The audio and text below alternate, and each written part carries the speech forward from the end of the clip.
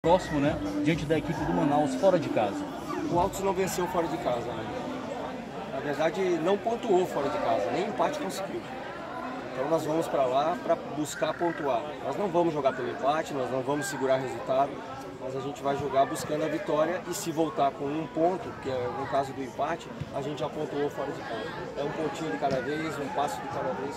Vamos pensar agora no Manaus, a gente já vem o analista que trabalha comigo, o Anderson, já vem analisando o Manaus, a gente analisa duas equipes ao mesmo tempo, né? depois do Manaus já vai a próxima.